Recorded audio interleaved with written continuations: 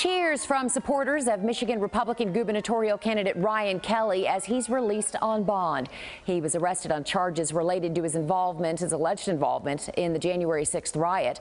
FBI agents raided Ryan Kelley's home and took him into custody Thursday. Federal records indicate that Kelley was a very active participant in the January 6th attack, saying he allegedly climbed on the building and tore things down. Kelley's one of many candidates vying for the GOP nomination.